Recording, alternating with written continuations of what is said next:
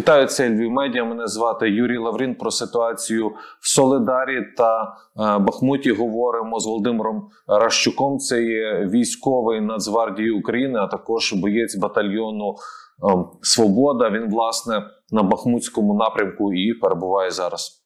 Вітаю вас, Володимире. Бажаю здоров'я, слава Україні! Героям слава! Пригожин, очільник ПВК Вагнера, сьогодні розповідає всім, що росіяни вже захопили Соледар. Ем, наскільки це відповідає дійсності, враховуючи, що в принципі росіянам довіряти ем, не варто, тому і перепитуємо. Е, чесно кажучи, е, два найскладніших напрямки Солідар Бахмут. Е, поки не можу сказати всі інформації з приводу Солідару. Там дуже непроста ситуація, і самі розумієте, що це дуже маневрена історія. Е, задля збереження складу є сенс іноді відходити, е, перегрупуватися перейти в контрнаступ. Так що е, поки що контролюємо, казати деталі не можу, але пригожу милий рот і кацапі. Зрозуміло. Також сьогодні Пригожин опублікував фотографію, нібито з шахт Солидар. Хоча згодом з'явилися фотографії з цих е, шахт е, соляних. Вони зовсім по-іншому виглядають. Ем, чи Пригожин сам в Солидарі? Та ні, ви що. Ні, ні в якому разі він туди не приїде. Е, це ж, як вам сказати, ну. Мабуть, це і правильно, тому що е, вище командування і не має туди їздити безпосередньо на нуль. Е, бо обезглавлений, е, обезглавлена армія е, буде непридатна до бою, тому в принципі він може тільки відправляти своїх людей. Але е, я дуже сумніваюся, що все це є правдою, те, що вони кажуть. Ну це без деталей. Багато зараз е, уваги власне чомусь вагнерівцям. Та я так розумію, що Бахмут, що Соледар це ж не лише вагнерівці, хто воює проти наших захисників. Е, дивіться наразі е, те, що з чим зустрічались, е, зустрічались батальйон Свобода та інші підрозділи, які знаходяться на цьому напрямку, це ПВК Вагнер їх багато, і зараз в них є певні проблеми. В них є проблеми з е, боєприпасами, тому що слава Богу, наші артилеристи і новітні технології, які постачаються з заходу, е, дуже добре працюють і розбивають і склади БК. От е, тому, в принципі, навіть інколи буває паритет на нашій стороні в небі. По-друге, в них є певні кадрові проблеми, тому що е, вони завжди працюють наступним чином.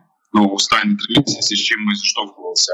Е, йде е, група, е, зазвичай це зеки, які не дуже навчені, але в яких немає вибору, або їх обнулять, або вони мають іти. Обнулять це свої ж їх б'ють.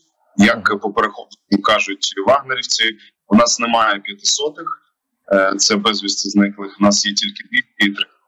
Тому вони йдуть вперед. За ними йде група підтримки зазвичай метники, кулеметники. І далі вже йде вагнерівська е, вагнерівські штурмовики е, вже з великою кількістю гранат, які закидають на рівні е, відстані 20-30 метрів окопи.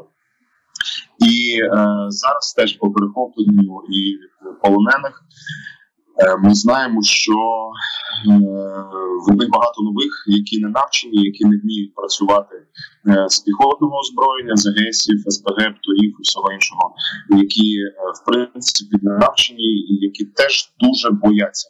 Тому, в принципі, є е, свої плюси, але великі мінуси. От щойно під'їхала знову ж по даним розвідки багато нового м'яса, нового. Е, сирого м'яса, так скажемо, який скоро перетвориться на фарш. Але як і тактика 42-го року, е, кількість вони завжди закидають кількість. Наскільки ця кількість е, більша, ніж е, ніж наших так захисників?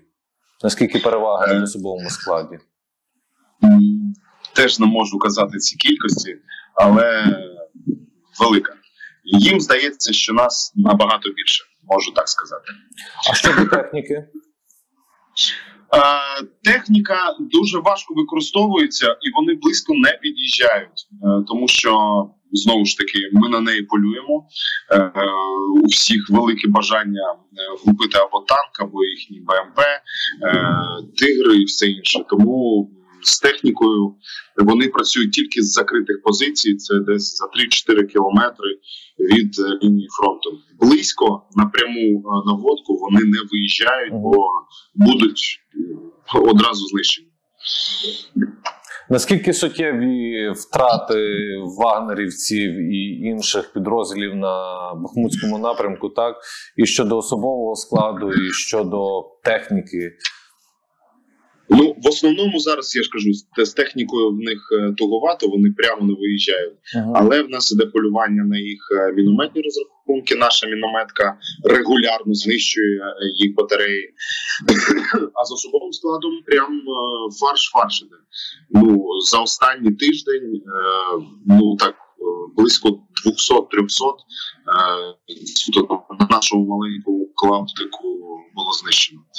Тому в принципі, як на мене, достатньо. Хотілося б, звичайно, тисячами, але через їх велику кількість є і великі втрати. Якби вони трішечки працювали з розумом, не накопичувалися в одних місцях так щільно, то ймовірно були б менші втрати. Але дякувати Господу, що в нас є такі, такий ворог.